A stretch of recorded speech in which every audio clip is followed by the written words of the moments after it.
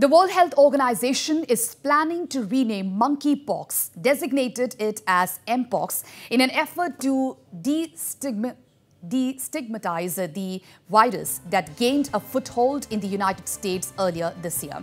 The decision comes in a response to growing pressure from senior Biden officials who privately urged WHO leaders to change the name. Well, the WHO traditionally acts as a global coordinator on public health issues, including declaring international health emergencies and recommending names for diseases that are then adopted by individual countries.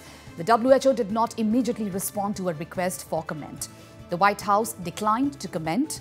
Public health experts and LGBT activists had similarly called for abandoning the virus name, which it received upon its discovery in 1958, since it began spreading widely this past spring.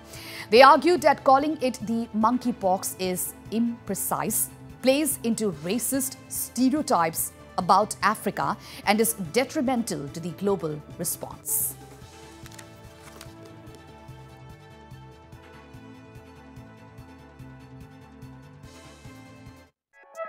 Bye.